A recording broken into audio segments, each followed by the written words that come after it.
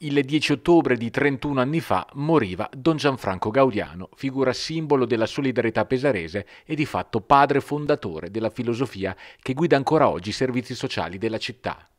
Da oltre un decennio, ogni 10 ottobre, Pesaro, attraverso la Fondazione Don Gaudiano il CEIS, ricorda il valore di questa eredità attraverso la giornata della solidarietà.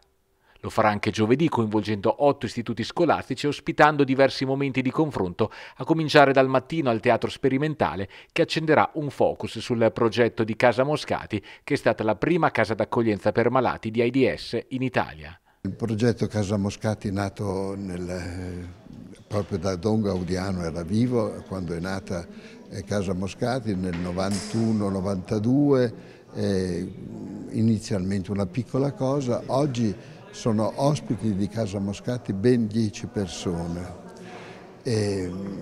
che sono lì e vivono la loro vita normale perché oggi, grazie a Dio, con le terapie che ci sono, eh, vivono una vita abbastanza sana, normale, tranquilla, insieme in questa realtà, assistite dagli operatori di Casa Moscati. L'attività del CEIS e i suoi servizi d'accoglienza ispirati ai valori di Don Gaudiano saranno invece oggetto dell'appuntamento con la cittadinanza che si terrà nel pomeriggio a Palazzo Montagnantaldi. E certo la comunità di Via del Seminario che continua all'interno del CEIS a portare avanti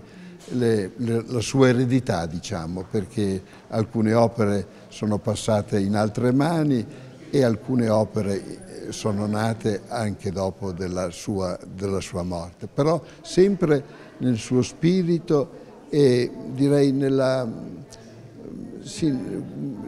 ispirate proprio da lui anche concretamente queste opere che sono nate.